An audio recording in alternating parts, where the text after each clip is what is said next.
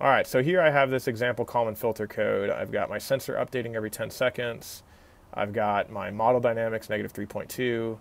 I've got my sensor block here, which this if statement here basically keeps track of updating every 10 seconds.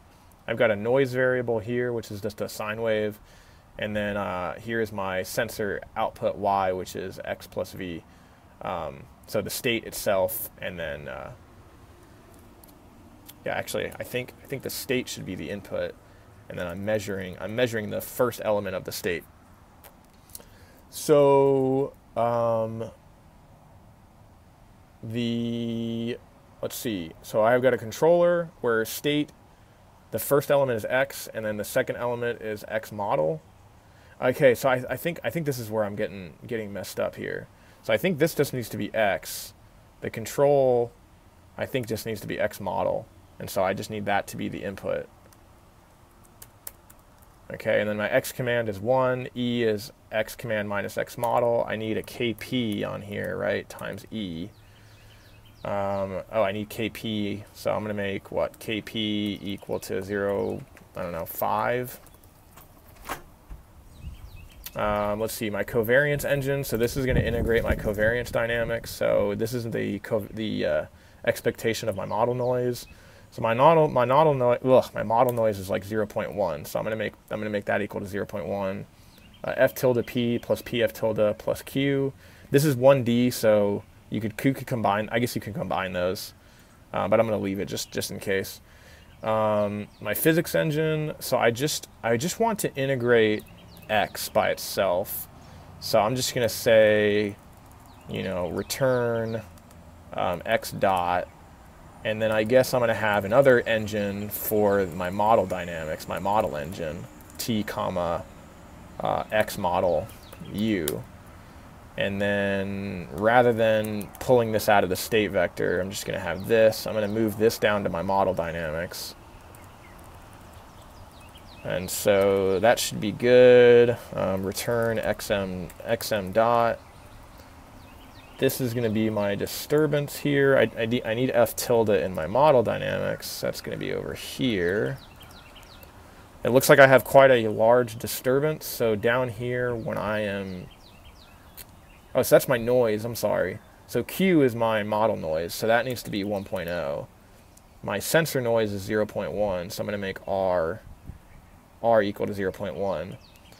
Uh, so here I call the controller, so I need to call the, I need to send it the model, but I also need to, over here, edit my variables. So I'm going to have x out be np zeros, length of t out 1. I'm going to have x model out just equal x out. Uh, they're all the same. I'm going to do 0 times x out just to make sure I don't, have, I don't deal with um, size issues. Uh, it doesn't like this, but whatever. All right, so there's x0, xm0, p0. I don't need a state 0 anymore. Um, I really don't even need these initial conditions. I just need x is, I guess the initial condition of x, I'm just going to make one, 0. The initial condition of x model, I'm going to make 0. And my initial covariance, I'm just going to assume is 0. Uh, hopefully that's okay. T final, T init time step, that looks all good. X out, XM out, P out, U out. Uh, and then T measure and Y bar out. Okay, so then I'm going to loop through 0 to the length of time. I'm going to call the controller, and so the controller is going to send an X and return U. And then I'm going to save the states for plotting, so that's x out of counter equals x. Um, xm out of counter is equal to x model. And then p out of counter is p. And then u out of counter is u. And then I need to, I think that's it for those. I need to, oh, okay, now I see what's happening. I missed the parentheses up there. Okay, then uh, see if we have a new measurement. So send the measurement x, right? The sensor just takes in x and it returns y if y is not equal to 99. So if you look up here in this code, I have an if statement here that says like, if it's been 10 seconds since the last update, then update. If not, return 99. So if it returns 99, it's going to skip this. If it doesn't, it's going to run through this update cycle. So first it's going to set the y bar to y, which I don't know why I did that. I can just do y bar and y bar and then just delete this. And then R is the estimate of the sensor noise, which is 0.1, so that's right. Uh, K is the Kalman gain matrix, and then I need to update the state, so that's x equals x plus k times y bar minus x, and then get a new co then update the covariance, so it's p equals 1 minus k times p, and then I'm going to add the measurements here and here.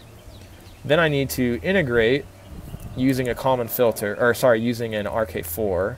And the reason why you have to use an RK4 is because you're using a, you're doing like a discrete integrator and you're updating the state like in the middle. Um, so then you step the state.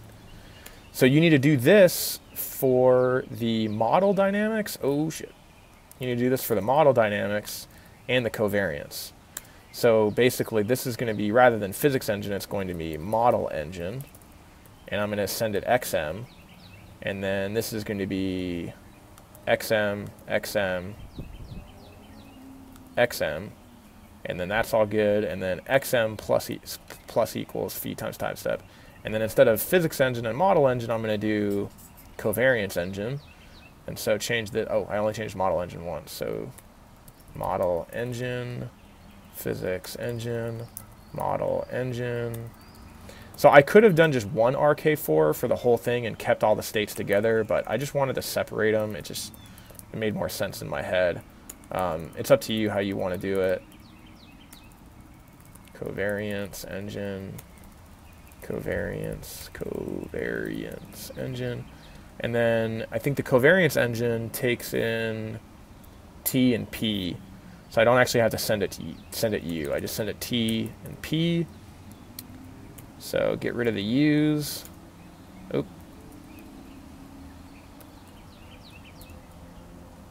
Oh, God. Actually, why do I keep hitting insert? It's kind of weird. Uh, let's see, T and P, T and, okay, so here's P, P, P, P, and then P plus equals phi times time step, and then that should be it. So then if I want to plot the state, I just plot X out, and if I want to plot the model, I just do X model out. I can plot the state measurements, and then we can plot the control input. And then let's go ahead and plot the covariance. Uh, P out. And then, let's see, it's going to be plt.grid, plt.x label, time in seconds, plt.y label is covariance and then PLT, there's no legend, and then I have a show at the bottom. I need a PLT.close here. All right, so let's see if this worked. Uh, global name state not defined. Right, so this is just X.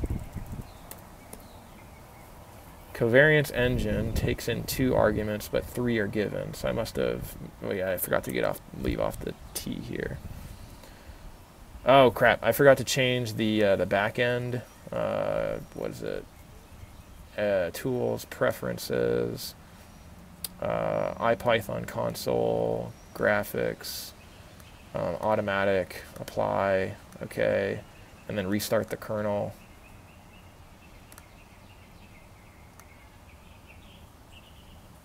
Okay, and then hit F5. Okay, so there's the control input. There's the covariance. So Let's see, the model is going down to zero. The state, state is doing this. I don't see any jumps though. Like it's supposed to be jumping. Looks like the covariance is jumping.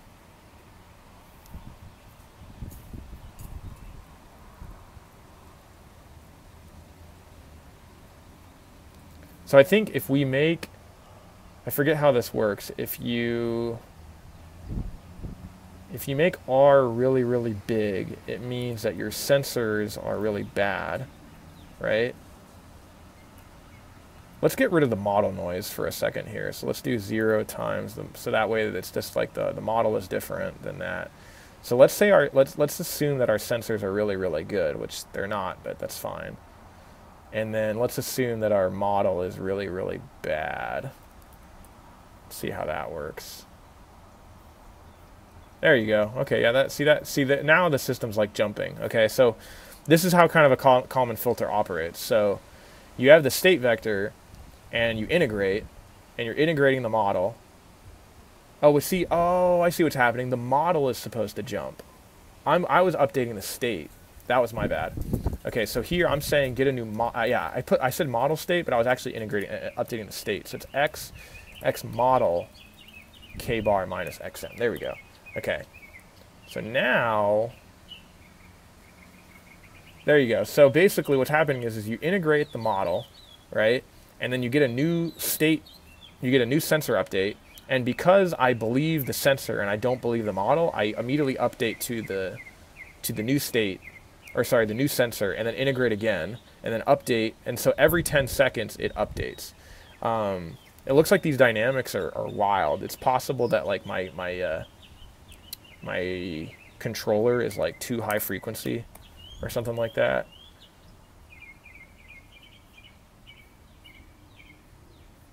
Yeah, that seems better. But you see here, like what's happening is, is like, you know, every time we get a new update, we believe the sensor, but the sensor sucks, right? So we should actually believe the model and not the sensor. So to do that, you need to believe the model and don't believe the sensor. And now what should happen is when we get a new state update, we should we should, prac- we should practically just ignore it. Yeah, we, we, we practically ignore it. And so if you had a, let's say you had a really bad model. So let's say, so right now if you look at this, like x dot is 3, right? If I made f tilde like 10, so it was really bad, now what's going to happen is your the difference between your model so your model and your state are completely different because your model is terrible. So what would be better is, I mean, we, we definitely need a better sensor. So let's, let's make our sensor better. And then let's not believe the model. And let's believe the sensor now. And then there, in this case, now, I think we need to update faster. Like, we're not updating fast enough, right? Like I think we need to update at like 100 hertz or something like that. So let's say sensor period is 0.1. What's my time step? Point. Let's let's make our time state 0.01. Hopefully that doesn't break the code. Uh, well, that took a little bit longer than normal, but that's fine. Oh man, that's wild. Okay, let's see what's going on here.